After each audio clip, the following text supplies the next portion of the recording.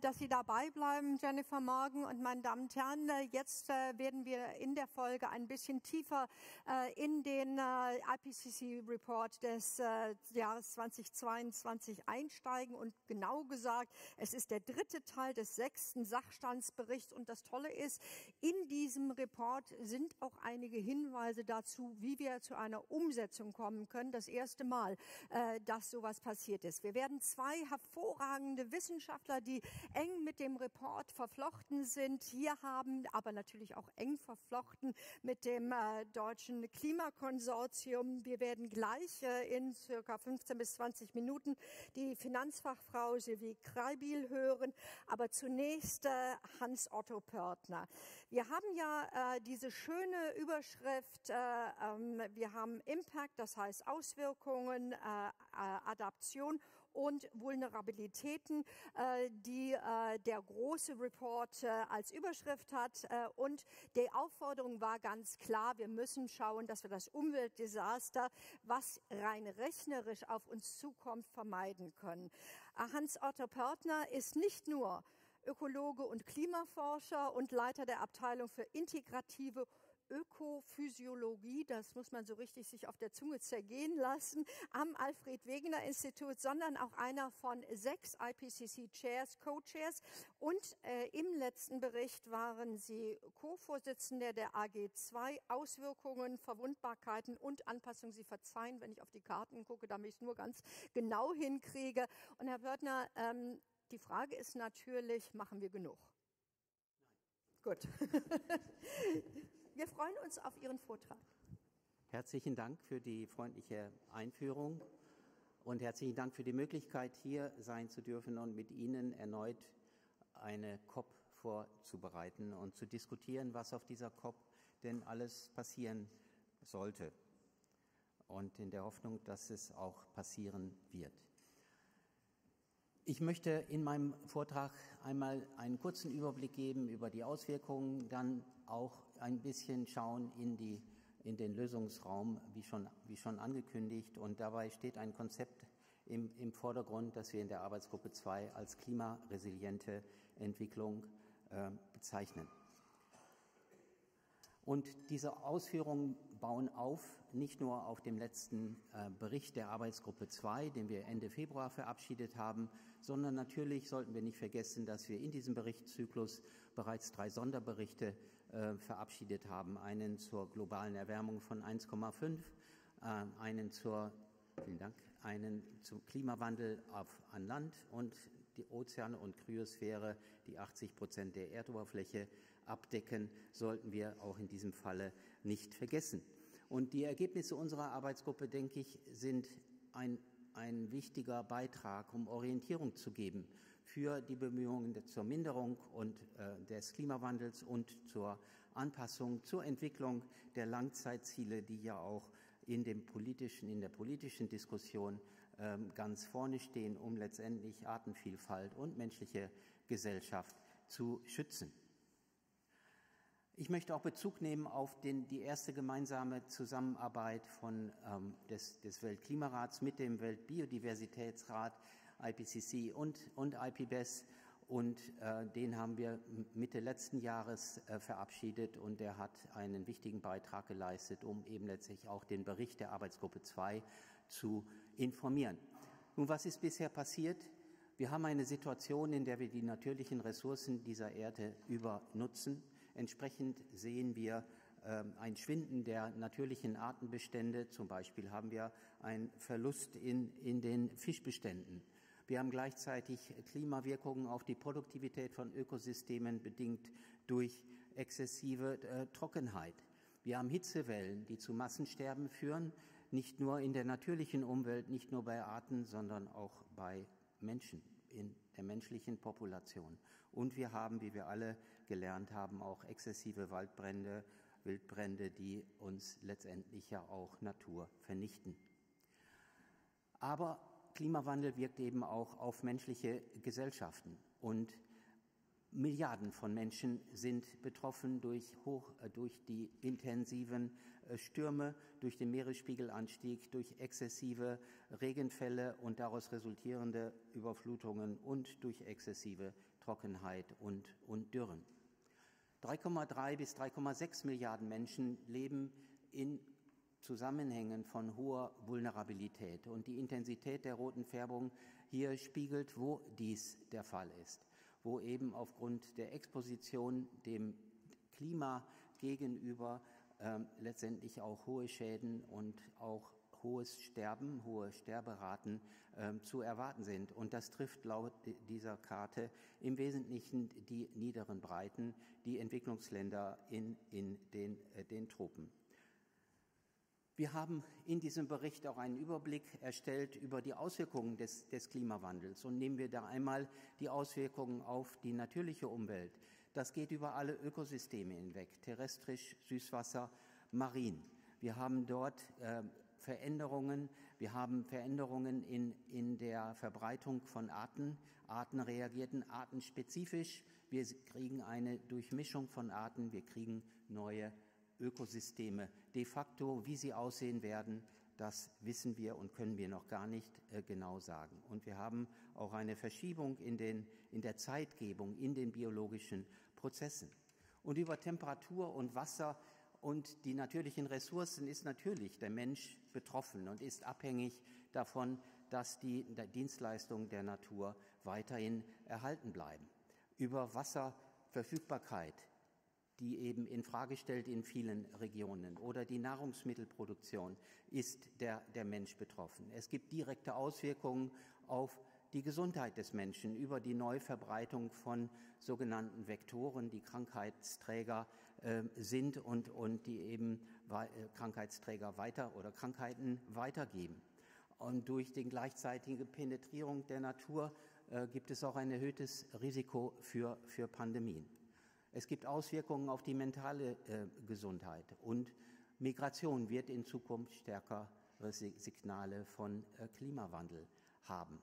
Gleichzeitig ist die Infrastruktur, sind die Siedlungen des, des Menschen äh, betroffen und es wird dort Auswirkungen geben, nicht zuletzt auch über die Aus, Ausprägung von Hitzeinseln in den Städten, die während der Hitzewellen eben ein wichtiger Faktor sind in dem leisen Sterben, vor allen Dingen in der älteren Bevölkerung, weil eben keine Anpassung ähm, erfolgt ist.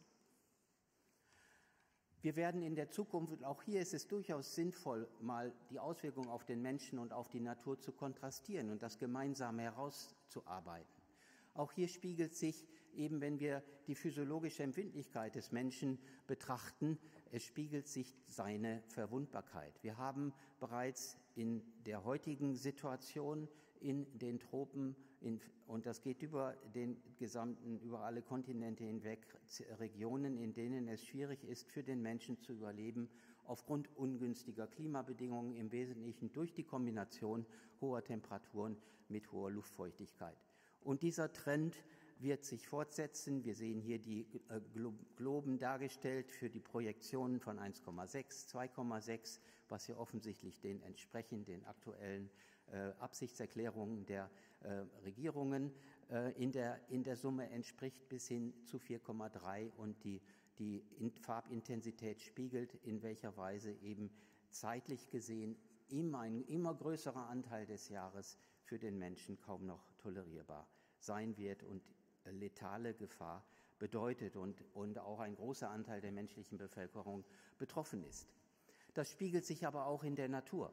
Wir sehen hier in den Entwicklungen dargestellt, wie eben die Umgebungsbedingungen für Arten, wenn wir von 1,5 äh, bis 2 und darüber hinausgehen, wie eben gerade in den niederen Breiten sich Zonen bilden, in denen höheres Leben kaum noch oder nicht mehr möglich ist.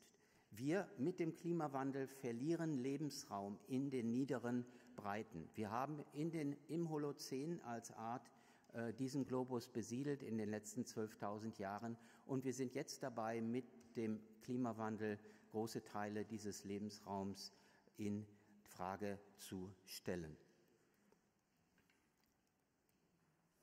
Damit verlieren wir und riskieren wir auch die Dienstleistungen der Natur die die Bestäubung betrifft, den Küstenschutz betrifft, denken wir daran, dass die Korallenriffe, die Warmwasserkorallenriffe, ein extrem gefährdeter Lebensraum ist. Schon bei 1,5 werden wir 70 bis 90 Prozent dieses Lebensraums verlieren und müssen uns, uns daran anpassen. Natur als Dienstleister für Tourismus und, und Erholung ähm, ist hier und da in, in Gefahr. Die Nahrungsmittelversorgung ist in Gefahr. Die Stützung der menschlichen Gesundheit. Wir sind angewiesen auf eine gesunde Umwelt, auf, auf das Genießen letztendlich natürlicher äh, Lebensräume steht in Gefahr und die Bereitstellung ganz grundlegender äh, Dienstleistungen wie äh, sauberes Wasser, saubere Luft ähm, und auch der Beitrag der Natur zur Regulation des Weltklimas steht in Gefahr mit dem fortschreitenden Klimawandel. Wie fassen wir das denn in Zahlen? Wie fassen wir das in ein Verständnis, in ein Vorgehen, was letztendlich auch Leitlinien geben kann für die Politik zur, zur Orientierung? Und dafür betreiben wir Risikoanalysen. Und in diesen Risikoanalysen bringen wir zusammen einmal die Klimafaktoren, dann aber auch die Vulnerabilität der natürlichen und menschlichen äh, Systeme und letztendlich in welchem Maße sie ausgesetzt sind. Wir haben bei dieser bei dieser Risikobewertung auch zu berücksichtigen, inwieweit diese Systeme sich anpassen können. Wo sind die Anpassungsgrenzen? Und wie können Anpassung und Klimaminderung helfen, Risiken zu mindern? Und diese Anpassungsgrenzen, die ich bereits erwähnt habe, sind charakterisiert durch ganz verschiedene Aspekte. Sie sind physikalisch, ökologisch, technologisch, ökonomisch, politisch, institutionell, äh, psychologisch oder auch soziokulturell. Manches davon lässt sich modifizieren. Mal sprechen wir von weichen Anpassungsgrenzen. Anderes und vor allen Dingen in den natürlichen Systemen ist das der Fall, sind harte Grenzen, wenn wir dort eine Grenze überschreiten mit Blick auf die globale Durchschnittstemperatur, dann ist das System eben nicht mehr in der Lage. Und auch unsere Anpassungsfähigkeit ist empfindlich gegenüber Klimawandel. Die steht uns nicht in jedem Klima vollumfänglich zur Verfügung. Je wärmer es wird, desto mehr nimmt unsere Kapazität ab, uns anzupassen. Wir fassen dies auf einer Farbskala zusammen, die, wo wir mit einer weißen Farbe nicht nachweisbare Risiken charakterisieren, gelb moderat, rot hohe Risiken und violett sehr, sehr hohe Risiken.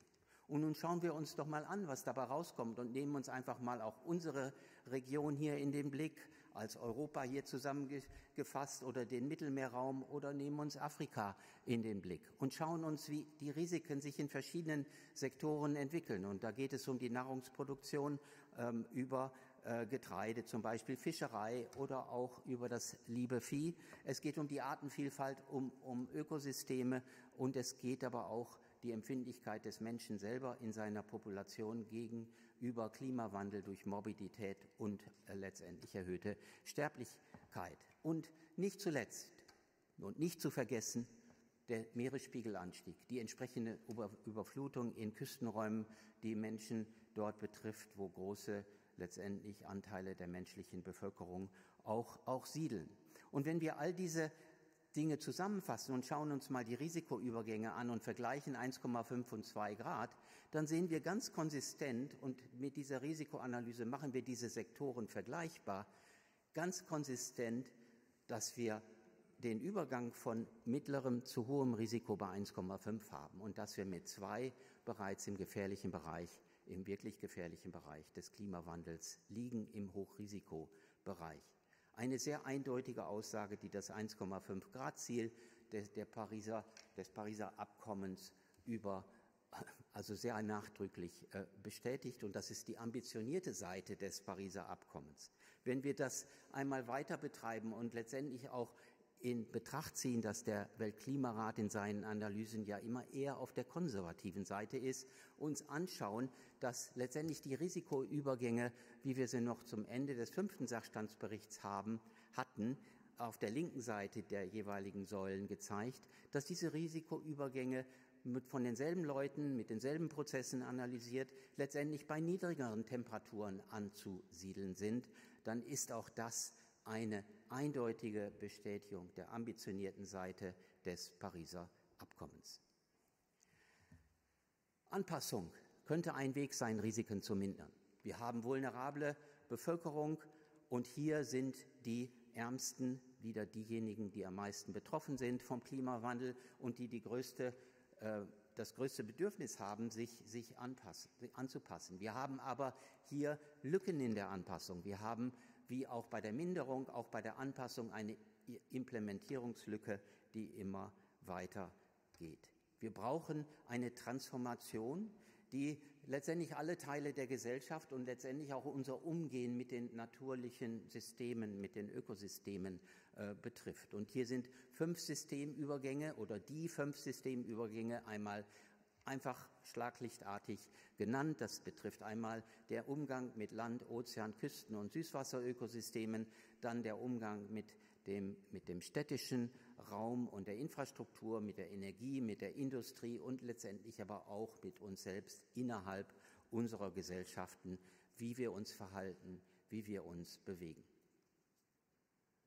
Viele dieser Anpassungsmöglichkeiten haben Co-Benefits mit, mit, haben Vorteile, gemeinsame Vorteile, weil sie auch in Richtung Minderung des Klimawandels wirken. Und hier kommen die Bemühungen von Arbeitsgruppe 2 und Arbeitsgruppe 3 zusammen und in dem Sinne den Klimawandel eben unter Kontrolle zu bringen und die Risiken zu mindern.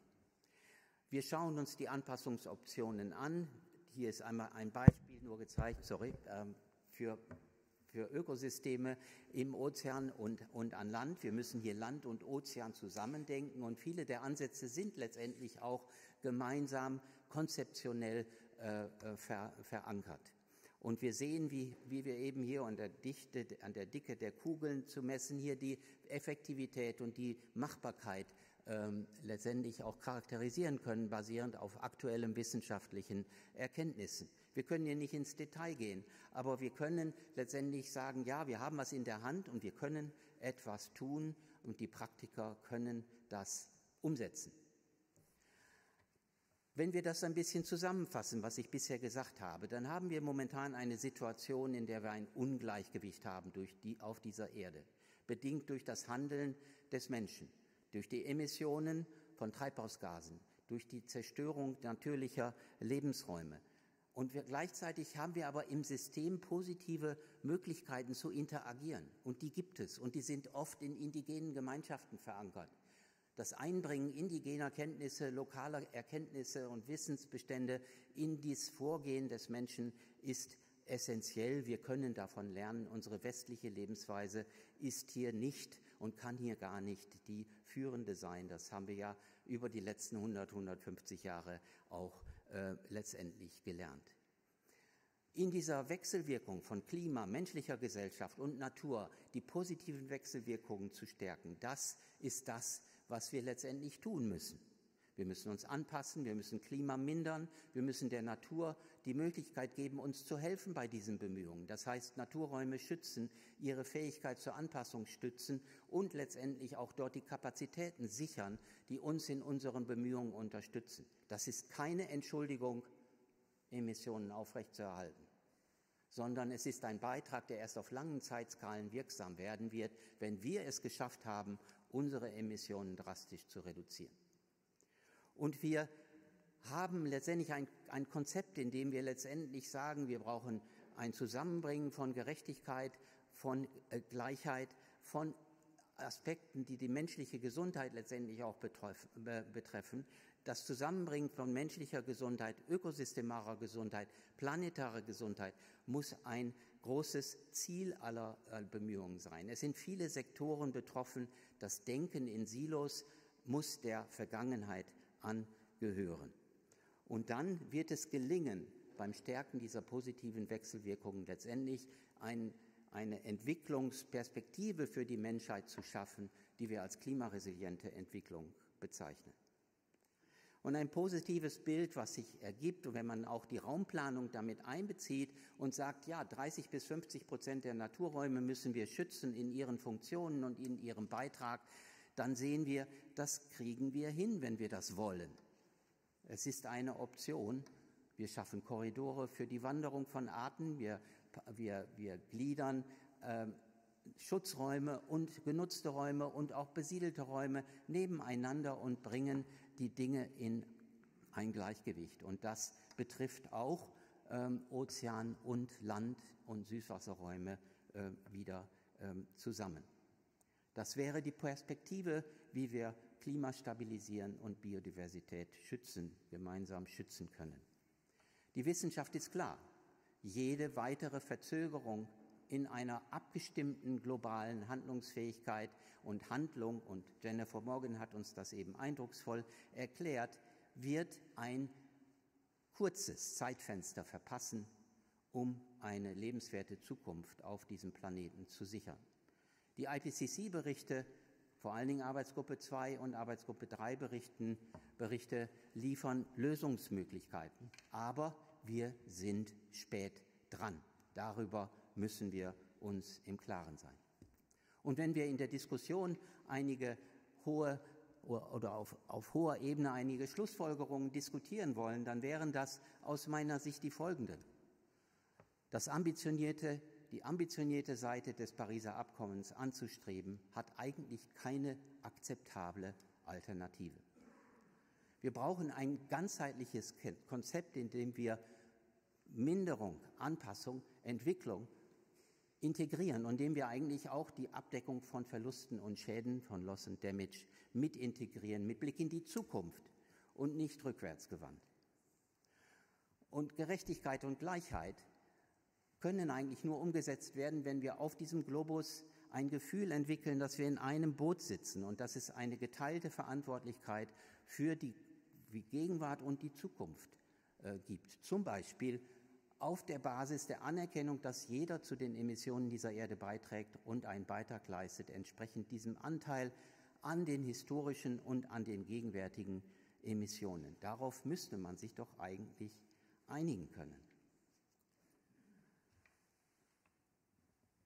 Gleichzeitig müssen wir anerkennen, die Lösungen für den Klimawandel und für den Artenschwund hängen voneinander ab.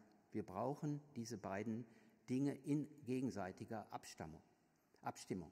Und wir sollten uns auch über die globalen Ziele vielleicht noch einmal klar werden. Wir, wir sagen 1,5 Grad Erwärmung ist das Maximum, was wir ähm, tolerieren wollen. Das wird ja kein paradiesischer Zustand sein. Das ist ja schon ein, eine Kraftanstrengung, dort, dort hinzukommen. Wenn das das Minderungsziel ist, dann können wir doch sagen, auf der Anpassungsseite passt das mit dem Ziel zusammen, Risiken bei einem mittleren Niveau festzuhalten, wie wir das auf den Abbildungen gesehen haben. So würde diese Zielsetzung letztendlich ja zusammenpassen. Und wir müssen eigentlich auch die Prioritäten in der Entwicklungspolitik umdenken. Entwicklung unter Nutzung von fossilen Brennstoffen kann es eigentlich nicht mehr geben, sondern Entwicklung sollte perspektivisch gebunden werden an die Nutzung erneuerbarer Energien, unterstützt durch die entsprechende technologische Hilfe der Industrieländer.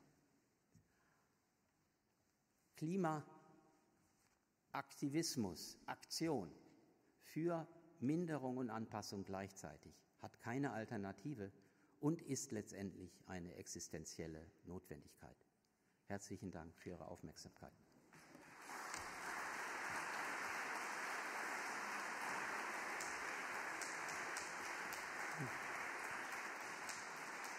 Lieber Herr Pörtner, absolut faszinierend äh, und ich denke mir, jedes Jahr werden die Zahlen, werden auch äh, die daraus äh, abzuleitenden Handlungsanleitungen stringenter. Wir haben das schon ein paar Jahre durchexerziert. Sie sind seit 20 Jahren dabei. Ähm, was macht das mit Ihnen, wenn Sie sehen, heute zum Beispiel in Deutschland projiziert 28 Grad im Süden Deutschlands, ist nicht mehr Wetter, ist schon Klima. Was sagen Sie sozusagen als Mensch, als Vater, als Großvater dazu? Ja, als Mensch, als Vater, als Großvater sage ich dazu, es wird höchste Zeit, dass wir Erfolge sehen in der Klimapolitik und in, letztendlich auch in der Biodiversitätspolitik. Und wir dürfen die Umweltverschmutzung äh, letztendlich durch Chemieindustrie und, und Feinstaub und so weiter und so fort auch nicht vergessen in, in, diesem, in diesem Kontext. Man möchte man wird ungeduldig, man möchte eine Umsteuerung sehen, die wirksam ist. Und wir sehen das Bemühen der Politik ähm, und, und wir haben, denke ich, einen Elefanten im, im, im Raum, wenn man das aus der englischen Sprache überträgt. Und dieser Elefant heißt ein Trägheit. Und die Komponenten dieser Trägheit mhm. wirklich zu identifizieren und auszuräumen, Das wird, denke ich, die Aufgabe der nächsten Jahre sein. Dankeschön für den erneuten Sense of Urgency, den Sie uns mitgeteilt haben. Ladies and Gentlemen, Hans-Otto Pörtner.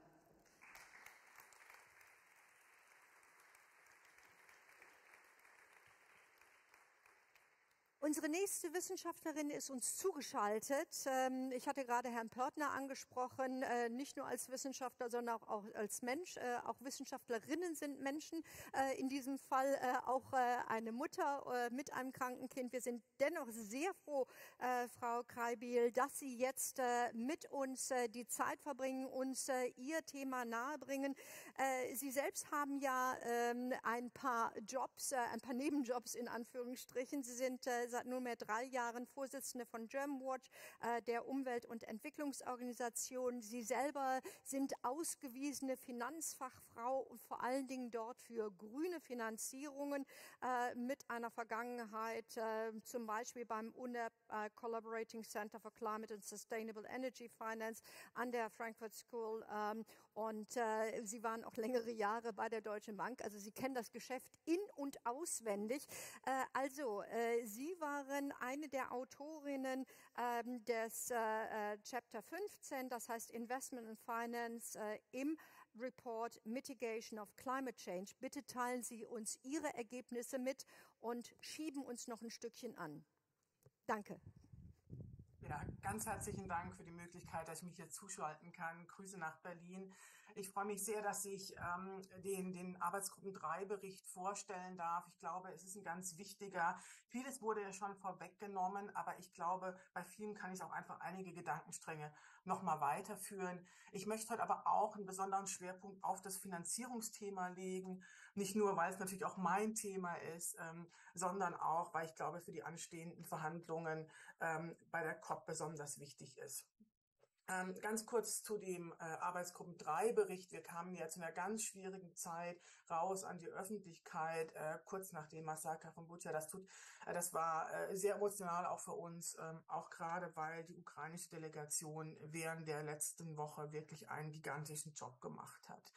Äh, vielleicht ganz kurz zum Bericht. Das ist ähm, ein ganz besonderer. Ähm, zum einen, weil er einen sehr starken Schwerpunkt auf das Thema Just Transition legt und natürlich auch ganz klar betont, dass wir ohne eine gerechte Transformation und ohne dass wir das Gefühl, alle das Gefühl haben, dass es gerecht ist, ähm, diese Machbarkeit in Frage stellen. Zum anderen ist es ein besonderer Bericht, weil wir zum ersten Mal eigentlich sagen können, wir kennen alle Lösungsmöglichkeiten. Ähm, wir wissen eigentlich sehr, sehr genau, was wir tun müssen. Der letzte Aspekt, warum es besonders ist, ist vielleicht der, der schwierigste daran. Wahrscheinlich ist es der letzte Bericht, ähm, der ähm, validen 1,5 Grad Szenario aufzeigen kann, wenn jetzt nicht ganz schnell äh, Änderungen passieren. Vielleicht auch ganz kurz zu den Rahmenbedingungen, ähm, wie viele Autoren wir waren, wie viele Länder. Aber ich möchte auf zwei Themen hinweisen. Das eine ist, ähm, dass wir immer noch einen sehr geringen Anteil von Frauen in der Autorenschaft haben, 30 Prozent nur im Vergleich zu 70. Aber auch nochmal ein Unterschied zwischen Entwicklungs- und Entwicklungsländern. Wir schaffen es immer noch nicht, hier die 50-50 hinzubekommen. Das hängt auch damit zusammen, dass wir einfach nochmal mehr Unterstützung auch für solche Arbeit für die Entwicklungsländer brauchen. So, vielleicht fange ich kurz an mit den Fragen, ähm, wo wir denn stehen. Ähm, in 2019 waren die Treibhausgasemissionen rund 19 Prozent höher als in 2010 und 54 Prozent höher als in 1990. Jetzt fragen Sie sich immer, warum wir nur auf 2019 Bezug nehmen. Das ist, weil wir beim IPCC ja immer so ein bisschen hinterherhinken. Ähm, wir müssen ja haben einen starken Literature Cut-off Date im Oktober letzten Jahres gehabt und deswegen müssen wir, wir haben eben nur diese Zahlen bis 2009, äh, 2019. Das Wachstum bei den Emissionen hat sich also reduziert. Das waren ähm, 2,1 Prozent zwischen äh, 2000 und 2009 und nur noch 1,3 Prozent in 2010 bis 2019. Aber das zeigt natürlich auch, wir sind bei weitem noch nicht da, wo wir sein müssten. Das überträgt sich auch auf die Klimafinanzierungsflüsse. Wir haben zwischen 2013, 14 und 2019, 20 ungefähr einen Anstieg von 60 Prozent. Das ist nicht viel. Äh, noch bedenklicher ist, dass dieses Wachstum nachgelassen hat und diese Finanzierungsflüsse eben auch so volatil sind. Der Bericht, ich finde ihn einfach und sehr schön, weil er so ein paar sehr anschauliche Botschaften hat. Eine davon ist, dass wir in einem 1,5 Grad Szenario in der letzten Dekade ungefähr so viel CO2-Emissionen hatten, wie wir jetzt noch verfügbar haben. Ja, also nicht für die nächste Dekade, sondern eben als ähm, CO2-Budget going forward. So, wir haben aber natürlich auch ein paar positive Nachrichten. Das war für uns immer auch sehr schwierig, da die richtige Balance zu finden. Wie optimistisch können wir denn eigentlich noch sein? Ähm, aber die positiven Aspekte, die wir hervorheben möchten, ist, dass dass wir eben eine steigende Anzahl von Ländern haben, die nachhaltige Emissionsminderung erreicht haben. Wir sehen mehr Städte und Regionen, ähm, die sich Null-Emissionsziele gesetzt haben. Wir sehen drastische Kostenreduzierungen bei PV, Wind und Lithium-Ionen-Batterien. Wir sehen immer mehr Energiesysteme, die von Erneuerbaren dominiert werden. Und wir sehen natürlich auch gerade im Finanzsektor ein Momentum, was wir so noch nie davor gesehen haben. Aber wir müssen auch sagen, 1,5 ähm, Grad ist außer Reichweite, wenn wir jetzt nicht ganz schnell ganz signifikante Emissionsminderungen hinbekommen. Ich möchte Ihnen das kurz an diesen Grafiken hier zeigen äh, und an den Zahlen. Äh, wir können jetzt nicht im Detail darauf eingehen, ähm, dafür, dafür reicht die Zeit nicht. Aber was Sie sehen hier sind die, ähm, sind die Entwicklungen von CO2 und Treibhausgasemissionen in den Modellen für 1,5 Grad, für 2 Grad und eben im Steady State oder eben im Business as usual äh, in der roten Linie. Zwei Dinge, die wir hier sehen. Das eine ist, ähm, wir haben ein Ambition Gap, aber wir haben auch ein Implementation Gap ähm, bei den NDCs. Ähm, das ist, glaube ich, beides wichtig für die anstehenden ähm, Verhandlungen. Jetzt aber mal zu den Zahlen. Ich glaube, die sind wirklich sehr anschaulich. Wenn wir also von 1,5 Grad reden, dann sprechen wir leider nur noch über eine 50 Prozent Wahrscheinlichkeit. Wir haben äh, die Modelle geben das einfach nicht mehr her, dass wir so wie üblich mit der zwei Drittel Wahrscheinlichkeit rechnen. Ja, also 1,5 Grad sind immer nur noch 50 Prozent Wahrscheinlichkeit. Da müssen wir ungefähr 50 Prozent ähm, Minderungen hinbekommen bei Treibhausgas und äh, CO2 äh, bis 2030. Ähm, bei zwei Grad ist es so ungefähr ein Drittel. Ähm, Net Zero unterscheidet sich eben einmal 2050er und 2070er, wobei das wahrscheinlich hinten raus gar nicht so das Problem sein wird. Wir müssen jetzt auch ganz kurzfristig mal schauen, wie wir hier deutliche Reduzierungen hinbekommen, denn es geht ja wirklich um die Fläche unter den Kurven. In beiden Szenarien oder in beiden Szenariogruppen müssen wir den globalen Peak vor 2025 erreichen. Das ist, glaube ich, auch nochmal eine sehr, sehr griffige Zahl. Ein Punkt, der immer mal genannt wird, ist, ähm, was ist denn die Auswirkungen von der Elektrifizierung in Entwicklungsländern, das ist am Ende was, was überhaupt nicht mehr, nicht so relevant ist. Äh, Universal Access würde ungefähr die Nachfrage um 0,2 Prozent äh, erhöhen in 2030. Das können wir uns also locker leisten. Wir brauchen aber eben Emissionsminderungen über alle Sektoren und Regionen hinweg. Ganz wichtig, es wurde vorhin genannt, auch schon, ähm, was heißt das denn für fossile Infrastruktur? Ähm, hier zeigen wir, und das ist wieder so eine sehr, sehr griffige äh, Analyse, die zeigt, das, was wir momentan an fossiler Infrastruktur geplant haben, und das heißt natürlich ähm, zum Stand 2019, äh, was wir geplant haben und was in Betrieb ist, das zusammen frisst unser verbleibendes Budget auf. Und da sind die anderen Sektoren noch gar nicht mit berücksichtigt. Das heißt, wir müssen gerade auch im Energiesektor deutlich schneller vorankommen. Wir müssen gerade da eben auch nicht nur darüber reden, dass wir keine neue Infrastruktur bauen, sondern dass wir eben auch bestehende Infrastruktur äh, aus dem Markt rausnehmen.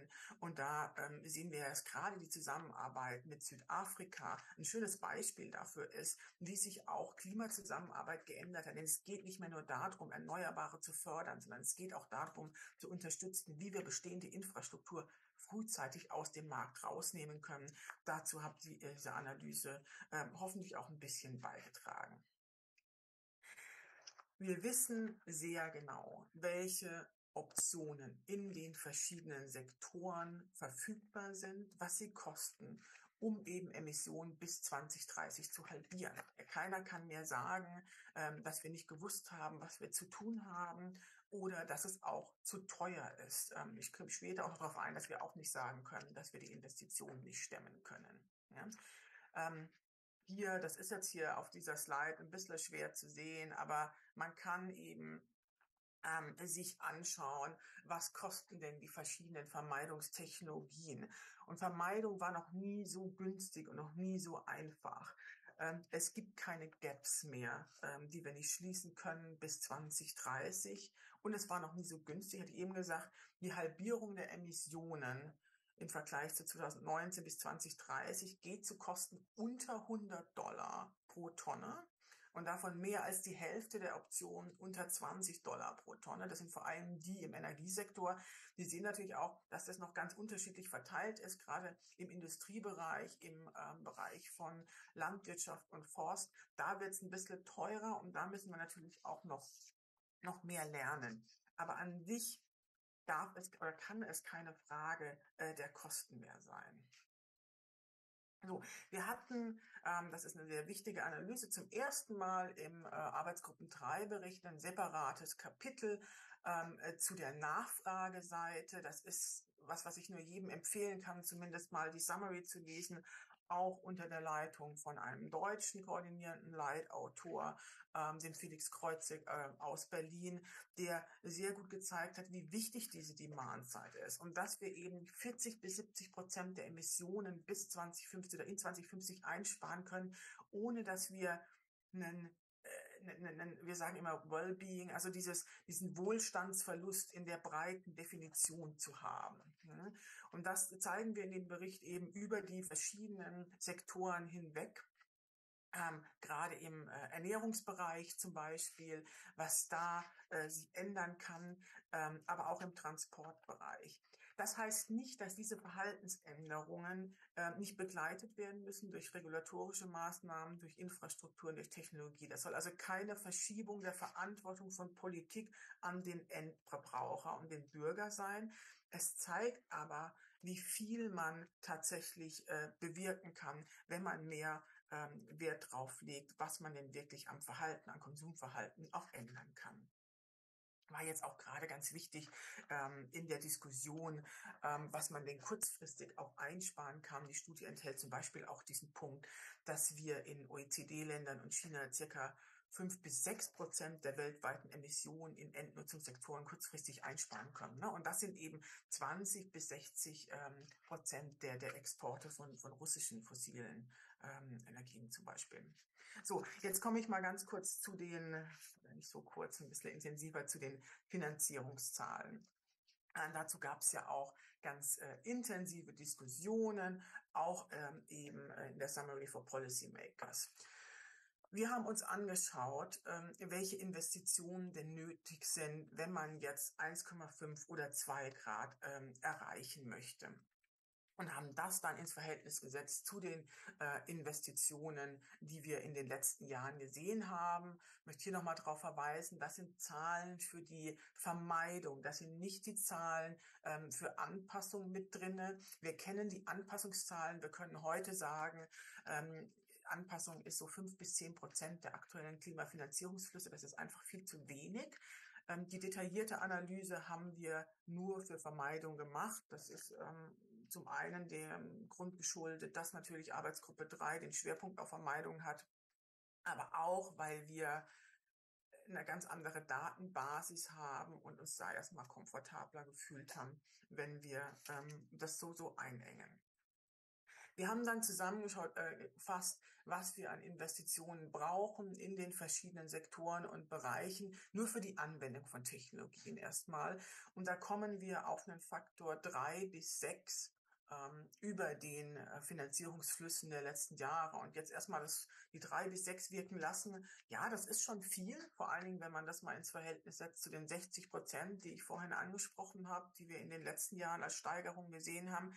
Das ist aber für den Kapitalmarkt erstmal gar nicht so viel. Ne? Also der kann eigentlich diese äh, Volumina sehr gut absorbieren. Ähm, Aber es gibt natürlich auch Herausforderungen, diese Finanzierungsflüsse umzulenken. Die liegen teilweise innerhalb des Finanzsektors, aber ganz oft auch außerhalb des Finanzsektors. Im Grunde genommen ist ja diese Analyse nichts anderes als ein Spiegel dieser ähm, Szenarienanalysen zu den Emissionsminderungen, die ich Ihnen davor gezeigt habe. Wenn wir eben noch nicht da sind, dann fließt auch nicht so viel. Wenn wir mehr oder wenn wir mehr ähm, Emissionen einsparen, auch mehr äh, politisches Commitment dafür haben, dann lenken wir damit eben auch einiges an Klimafinanzierungsflüssen ähm, um. Es gibt gerade da natürlich auch großen Nachholbedarf, ähm, was die Risikoanalyse angeht. Ich glaube, das ist einfach ganz wichtig, dass wir ja auch immer Arbeitsgruppe 2 und, und 3 zusammendenken, auch im Finanzsektor, den wer heute noch in fossile investiert, der entweder wettet er gegen 1,5 Grad ähm, oder ähm, er wird eben Stranded Assets ähm, akzeptieren müssen. Er wird damit auch Verluste im Portfolio haben. Da müssen wir noch deutlich ähm, klarer werden, dass solche Verluste dann eben auch im Finanzsektor absorbiert werden müssen. Jetzt sehen wir ganz große Unterschiede in den Sektoren. Wenn wir jetzt mal im oberen Bereich bleiben, dann sehen wir zum Beispiel im Energiebereich nur eine Steigerung von äh, zwei bis fünfmal. Ähm, wir sehen aber bei Agriculture und Forest eine Steigerung von 10 bis 31 Mal. Das ist natürlich bedenklich. Ja? Also Energiesektor insgesamt machen wir uns erstmal gar keine Sorgen. Wir wissen von der IEA zum Beispiel, dass wir im Jahr 2019 Gesamtinvestitionen von 1,6 Billionen Dollar hatten. Der Bedarf laut unserer Analyse liegt da am oberen Ende dort. Ne? Da geht es wirklich darum, dass wir Finanzierungsflüsse umlenken. Ähm, ähm, da brauchen wir gar keine neuen Sektorallokationen. Das sieht anders aus, zum Beispiel bei Agriculture und Forests. Ähm, da haben wir Flows unter einer Milliarde. Auf der anderen Seite haben wir aber 600 Milliarden Government Support für im Agriculture-Bereich. Und da müssen wir eben auch sicherstellen, dass er zielgerichtet ähm, eingesetzt werden kann, damit wir eben keine negativen Auswirkungen haben. So, ähm, ich möchte ganz kurz noch auf die vorgelagerten Investitionen eingehen, weil die eben nicht in dieser Analyse mit drinnen sind. Ähm, was brauchen wir also, um Produktionskapazitäten aufzubauen, um eben auch diese Anwendung, diese Investitionen in Anwendung zu äh, ermöglichen? Wenn wir zum Beispiel am Transportbereich denken, Irina geht davon aus, dass wir äh, bis 2030 ungefähr 270 Millionen Electric Vehicles haben. Wenn wir das jetzt mal übersetzen in nur die Batteriekapazität, brauchen wir da auch wieder 200 Milliarden Investitionen, die sind nicht hier mit drinne, ja, die sind vorgelagert, die müssen aber eben auch noch passieren, um überhaupt diese drei bis sechs zu ermöglichen. Äh, und das zeigt mal, wie parallel am Ende jetzt Investitionsentscheidungen getroffen werden müssen. Wir haben also nicht mehr diesen langen Vorlauf, wie wir ihn bisher hatten, gerade wenn wir jetzt mal an Solar in Deutschland denken, 1000 Dächer Programm, wir denken dann ans EEG und so weiter. Ich, ich habe noch die ersten äh, Börsengänge von Solarunternehmen gemacht. Da haben wir noch erklärt, was das 1000 Dächer Programm ist und wie denn eine Einspeisevergütung passiert. Und es hat sich dann so langsam aufgebaut. Dafür haben wir keine Zeit mehr. Ne? Also da, da ähm, wird sich ganz viel ändern auch in der Art und Weise, wie wir Risiken analysieren müssen im Finanzsektor. Es muss sich aber auch ganz viel ändern an der Zusammenarbeit zwischen Wirtschaft, Politik und Finanzsektor. Wir müssen nämlich entscheiden, basierend auf den langfristigen Zielen und nicht nur dem, was wir jetzt eben schon so kurzfristig äh, rechtfertigen können, basierend auf Erfahrungswerten. Jetzt kommt der schwierigere Teil in der Analyse. Das ist das, was Sie unten sehen, ähm, der Nord-Süd-Vergleich. Wir ähm, beim IPCC modellieren wir basierend auf Regionen und wir aggregieren dann diese Regionen eben in Entwicklungs- und äh, Industrieländer. Das ist ein wichtiger Hinweis, der auch immer wieder zu äh, Diskussionen ähm, mit den Regierungsvertretern führt. Anders kriegen wir das aber nicht hin. Wir haben also drei Regionen, die wir hoch aggregieren zu Industrieländern. Und wir haben dann die verbleibenden Regionen, die wir als Entwicklungsländer äh, aggregieren. Und da sehen Sie massive Unterschiede. Nicht nur was die Bedarfe angeht im Prozent von GDP, das sind nämlich für die Industrieländer zwei bis vier Prozent, für die Entwicklungsländer vier bis neun Prozent. Und das ist nur Vermeidung. Das dürfen Sie nicht vergessen. Dieser Gap wird nochmal viel größer, wenn wir eben die generelle Infrastruktur äh, Finanzierung dazu rechnen, wenn wir Anpassungen dazu rechnen, wenn wir Losses und Damages dazu rechnen. Ja, das, das müssen wir akzeptieren. Der Multiplikationsfaktor entsprechend drei bis fünf in Industrieländern, vier bis sieben ähm, in Entwicklungsländern. Jetzt gibt es ähm, genau zu dieser Analyse immer die Diskussion, ähm, wie denn Gerechtigkeitsaspekte hier berücksichtigt werden. Erstmal möchte diese Analyse nicht sagen, wer denn überhaupt zu investieren hat. Und sie sagt auch nichts über Kosten aus. Ähm, diese Analyse zeigt nur, wo basierend auf den Modellen Investitionen am sinnvollsten wäre, wo Vermeidung am sinnvollsten wäre. Das heißt aber nicht, dass wir die Verantwortung für die Finanzierung dieser Projekte ausschließlich äh, in den jeweiligen Regionen sehen. Das kann gar nicht so sein. Das ist ganz, wenn man sich jetzt mal die Investitionsvolumina anschaut, wenn man sich anschaut, die historische Kapitalakkumulation im globalen Norden, dann wird das nicht möglich sein. Dann sehen wir, dass wir eben deutlich mehr Cross-Border-Flows brauchen, äh, im öffentlichen Bereich, aber eben auch im privaten. Wir können aber nicht so einfach ausrechnen, wie viel Investitionen sollten von wem getragen werden. Das hat verschiedene Gründe. Zum einen, weil diese sind ja Investitionen, sind keine Kosten. Diese Investitionen können also auch eine gute Rendite abweisen. Die Kosten sind unterschiedlich. Wir schaffen es leider noch nicht, ähm, diese Modelle hier mit den Kostenüberlegungen zusammenzubringen und genau zu sagen, wer hat denn welche Unterstützungsbedarfe. Ähm, das ist schwierig. Dafür gibt es andere ähm, Ansätze ja auch von UNFCCC. Aber das ist, glaube ich, schwer dann auch zu verallgemeinern. Was wir wissen oder was wir aus dem ablesen können, wir haben eben einen signifikanten Unterstützungsbedarf. Entwicklungsländer haben es tendenziell schwieriger, sind sowieso schon äh, deutlich verletzlicher. Sie tragen jetzt schon die Kosten für äh, vom Klimawandel auch auf der Finanzierungsseite. Ähm, wir wissen, wie äh, stark die Ratings teilweise runtergegangen sind, wie höher, wie viel höher die Finanzierungskosten für Partnerländer sind. Und das ist mit Sicherheit ein Punkt, ähm, der eben auch für die anstehenden Klimaverhandlungen wichtig ist. Wie viel verlässliche Unterstützung kann man bieten? Welche Instrumente können wir auch bieten?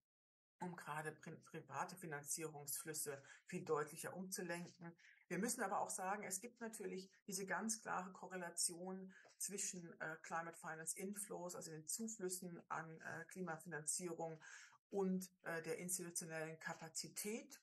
Ähm, wir wurden oft gefragt, ob wir denn auch ähm, nachweisen können, dass es eine Korrelation zwischen Inflows und Ambitionen gibt. Das können wir noch nicht. Hoffentlich ähm, gibt es auch dazu dann bessere Erhebungen, die vielleicht die nächste Autorenschaft dann auch ähm, zitieren kann. So, zum Abschluss und damit wir dann auch noch ein bisschen Zeit für Diskussion haben, die drei Kernbotschaften äh, aus unserer Sicht. Wir stecken immer noch fest im fossilen Zeitalter. Wir haben kaum noch Zeit für 1,5 und auch für 2 Grad. Wir müssen jetzt wirklich in den nächsten fünf bis zehn Jahren ganz schnell Emissionsminderungen erreichen. Wir sind aber auch in der Dekade der Lösungen. Wir wissen besser denn je, welche Technologien, welche Ansätze, welche Politikinstrumente wirken. Und wir müssen sie jetzt nun mal einsetzen, damit wir dann auch eine gerechte Transformation hinbekommen. Und damit möchte ich an der Stelle erstmal beenden.